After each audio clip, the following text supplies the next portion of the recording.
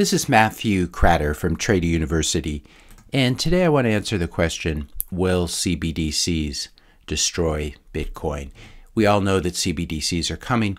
This is a form of programmable government money, central bank digital currencies. That's what CBDCs stands for. And the way you could program this would be you could allow, for example, the purchase of carrots, but you couldn't buy cigarettes with it. And the question that people have been asking me is won't this destroy Bitcoin since CBDCs can be programmed to not allow you to buy Bitcoin with it?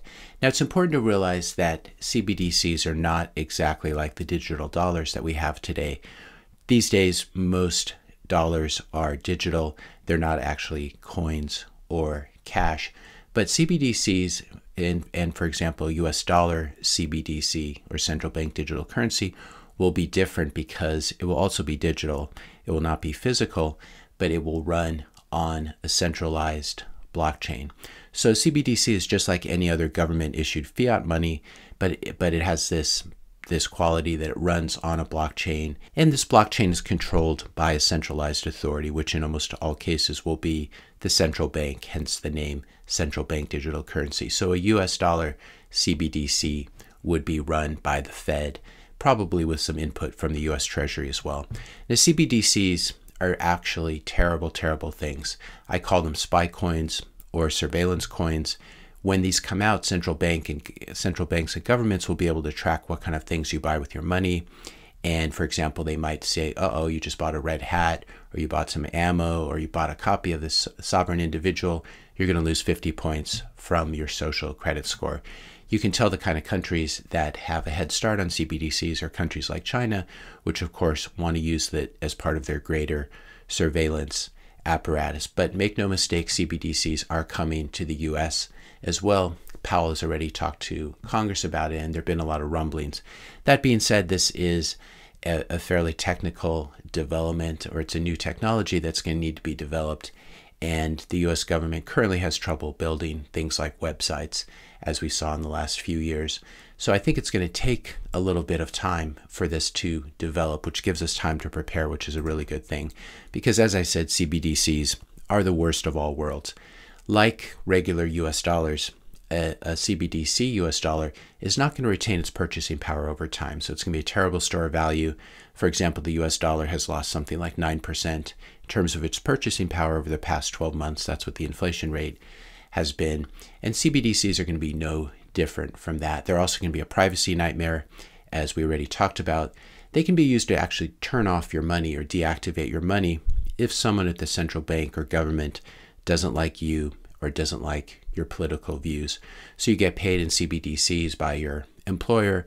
Everyone knows that those are your US dollars. The Fed knows, the government knows, the FBI knows, the CIA knows, the IRS knows and they can use that to track your spending and also to turn off your dollars if they want to.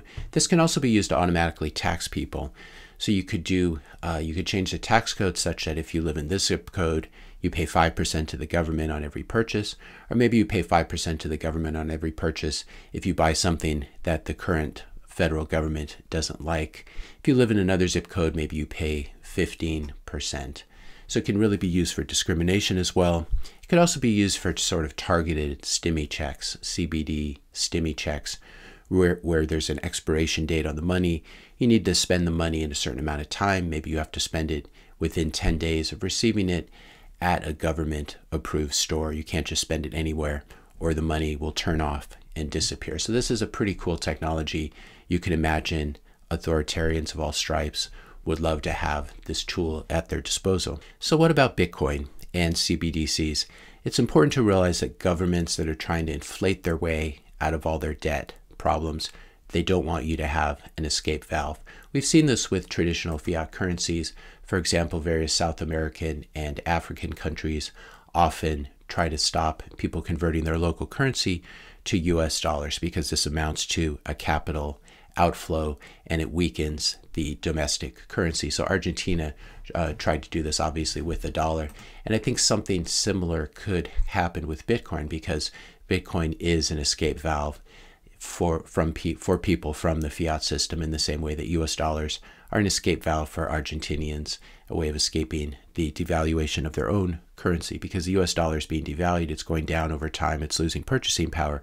But a lot of things like the Argentinian dollar or the Argentinian peso or the Zimbabwe dollar obviously are losing value faster. So, what would happen if you could not buy Bitcoin with your CBDC and this was forbidden? And let's assume also that almost every country in the world has a CBDC. Doesn't this mean that Bitcoin will die or at least stop growing because there won't be this this flow of value into it out of fiat? I don't think so, and I'll give you a couple reasons for that. The first reason is first of all, not every country will ban Bitcoin purchases. There are a lot of countries in the world. There are a lot of different kinds of people in those countries, different kinds of leaders. We saw what's happened with Bukele in El Salvador. And so there's a very good chance that there will still remain countries that are friendly to Bitcoin and friendly to Bitcoiners. These will probably be smaller company, smaller countries like El Salvador, maybe Singapore, places like this. As a result, they'll see a huge influx of capital in the form of Bitcoin and other capital inflows, as well as they'll see an influx of intelligent, productive people, because this is what long term Bitcoiners tend to be, and this is what the money incentivizes. It incentivizes saving, it doesn't incentivize mindless consumption as fiat dollars do. So, a lot of countries will, in fact, ban Bitcoin, but banning Bitcoin is very similar, as I've said many times. It's similar to banning the internet, it's similar, similar to banning cars or airplanes or other tech innovations. If you do this sort of thing, you might end up looking more like North Korea or the former U- Soviet Union or even China with its great internet firewall. So let's take a, a, page from history. I've talked about Executive Order 6102 many times. This was when US President Franklin Roosevelt forbade the personal holding of gold. You can maybe have a little gold jewelry, but you were not you were not allowed to, to store any significant amount of gold. And if you had gold in the US banks at that point, it was confiscated. You were paid something like $20 per ounce, and then it was revalued to $35 per ounce. So this was complete theft. This is how the gold ended up in Fort Knox, assuming the gold is still there. So, what would you have done as a, as a sort of historical thought experiment here? If you knew that gold was about to be banned in the US in 1933, I think actually the smart thing was not to try to exit gold. It was definitely a smart idea to withdraw the gold from the bank so it could not be confiscated in the way it was. And uh, in this way, gold bugs understand this as well as Bitcoiners do not your keys, not your coins, not your vault, not your gold. But I still think that the smart thing to do was to hold on to your gold or to buy more gold if you had known that this executive order was coming. And the reason for this is gold only gets banned as an exit valve or escape valve because the local currency is about to be massively devalued and the government is trying to close all of the exit doors. So it's still the rational thing to buy gold and hold it, even though it was illegal. And obviously, the country, the US, is a very big place. A lot of people did, in fact, do this, assuming they, they didn't leave their gold, quote unquote, on the exchange, as people leave their Bitcoin on the exchange, assuming they withdrew their gold before this executive order was issued. So, if you believe that CBDCs are coming, this should tell you something. This should tell you that the US dollar is about to be even more devalued. And it should also tell you that it might make sense to load up on some Bitcoin while it is still relatively cheap, while people don't have CBDCs on their mind, and also why it's, while it's still relatively easy to get some Bitcoin. So, what happens when CBDCs are finally here?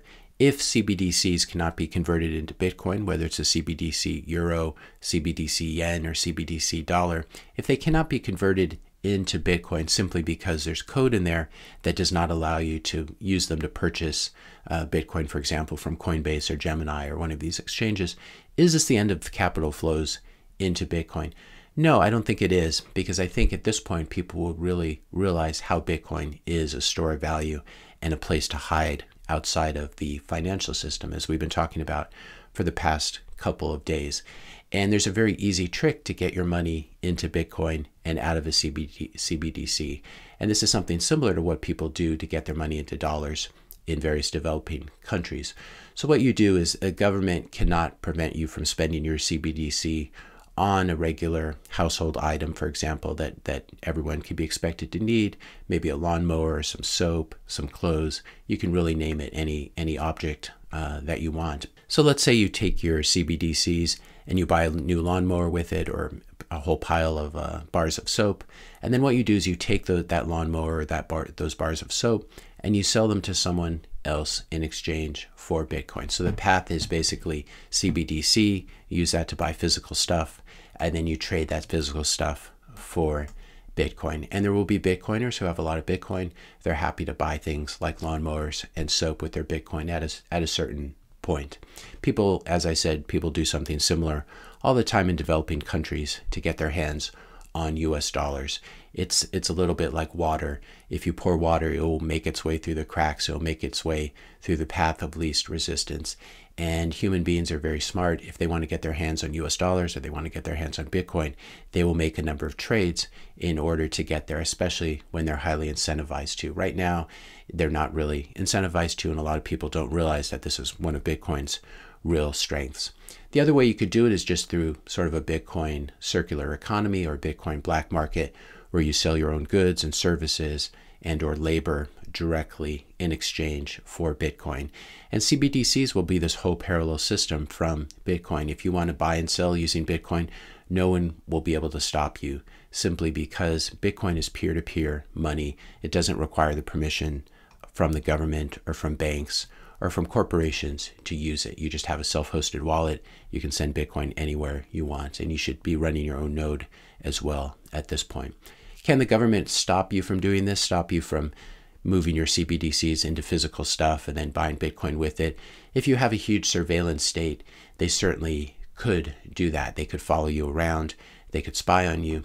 So the government could certainly stop 100 people from doing this. But the more people who do this, it certainly could not stop 100 million people from doing this. And this is the whole point of Bitcoin. It's very difficult to take someone's Bitcoin, but of course you can. You can put a weapon to their head and ask them to give you their Bitcoin. And a lot of people will do this, but it's very difficult to do that to tens of millions of people or hundreds of millions of people. And that's why it's a robust, anti fragile currency. That's one of the reasons.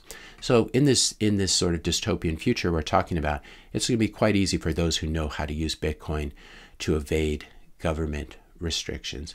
And again, it's important, as I spoke about on Saturday, we're not talking about benign government restrictions here, like not allowing you to drive your car 100 miles per hour on city streets while completely wasted. We're not talking about that sort of thing. We're talking about hostile governments that care nothing for the health, safety, well-being of their citizens and or residents. These are hostile governments of the present or of the future that want to lock you up in the matrix in the digital prison and harvest your life energy and steal the fruits of your labor through inflation. And I think the, the Matrix movies were a very good metaphor of this stealing the life force of people by putting them in these pods. This is really how inflation works because you spend your life force, your energy, your time earning money, and then the government picks your money. The, cent- the central bank picks your pocket uh, through devaluing the currency by printing too much of it. So it's a hidden tax, it's a hidden form of theft.